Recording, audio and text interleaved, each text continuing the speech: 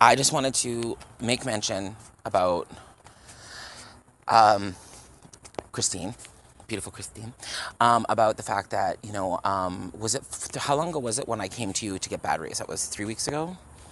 About three weeks. Okay, and she full pack. You open them, take a, there was like full a, tr- pack of double, a full pack of triple. a full pack of triple. Yeah, and they were like twenty packs.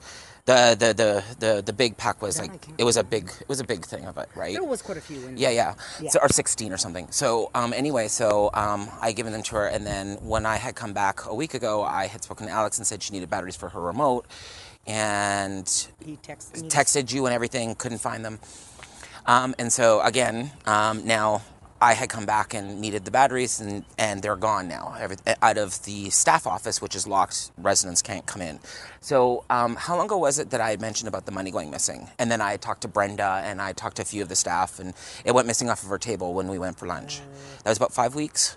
About Uh, roughly. I would say about five weeks. Yeah. And so, and then as of yesterday, after bringing all this stuff up, um, I had spoken to the staff about her Perfume. perfume going missing, which is no longer there. Which is funny because she and I mentioned that she doesn't wear it.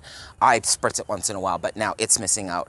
So that's three things, five weeks that have gone missing either from the room or from a staff office Of one person. of one person and the person that I always hang out with, and I also walk her around the building and I assist her with.